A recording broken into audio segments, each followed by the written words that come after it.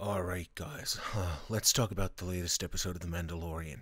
Now, I know I don't normally talk about the show um, on this channel outside of my, you know, weekly discussions with uh, Dennis, and that one is coming too this week um, outside of my podcast, the podcast relay. But I really felt like this warranted, you know, some commentary on my part because there was so much to love uh, for me um, about this episode. Uh, like, where do I even begin? Like, I, I, like the first thing that immediately stood out to me was the sort of very Kurosawa, you know, Akira Kurosawa esque kind of a feel to it all. You know, the the cinematography felt immediately familiar to me as as a as a sort of um, fan and friend of Kurosawa cinema and Lucas cinema, obviously. Um, you know, you got all these very moody, you know, establishing shots. You got these, uh, you know, um, establishing shots, you know, eh, juxtaposing the backgrounds with these tiny figures, you know. You got Ahsoka, oop, spoilers, ah, whatever. Um, you got Ahsoka with her, her kind of cape, you know, flapping about in the wind. Uh, you know, yeah, it, it felt very kind of samurai, Jidai Geki, you know, samurai period film esque. It felt, you know, it felt very much like that to me um, and just yeah, I just love that. You know, I'm I'm a, I'm a sucker for all that kind of stuff. So because I yeah, I love Japanese cinema, like in particular like 1960s Japanese cinema. Um, but yeah.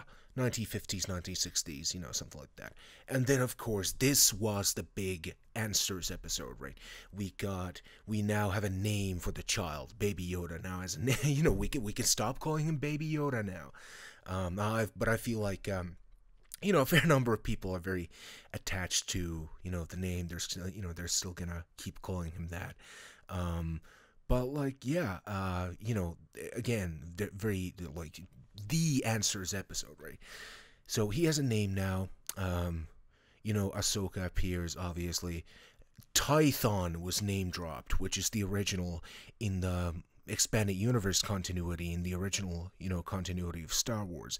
Tython was the great big birthplace of the Jedi Order, right? So I never thought we would see Tython on screen, you know, outside of the Old Republic MMO.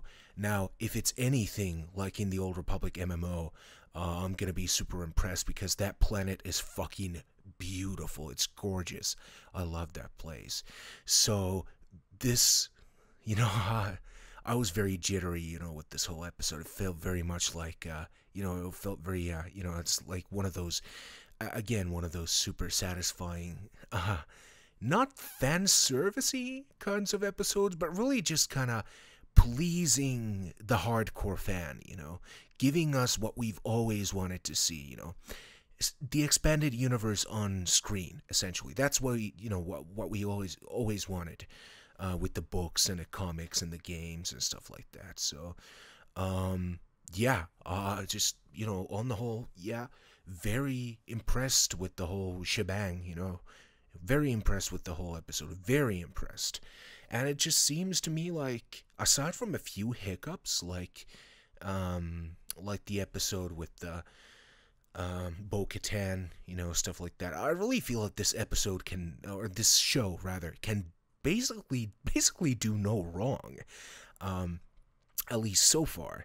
Like uh, you know, I don't want to jinx anything, but you know, uh, they they might screw something up in the future. But um, I don't really foresee that happening. Uh, but yeah, I, uh, you know I continue to be so impressed. So many things name dropped uh, is kind of building up anticipation uh, for the end of the season, I suppose. Uh, and I'm sure it's going to be very, um, I'm sure it's going to be very explosive. So yeah, um, just you know, I'm all aboard. You know, still with the show. I continue to be impressed.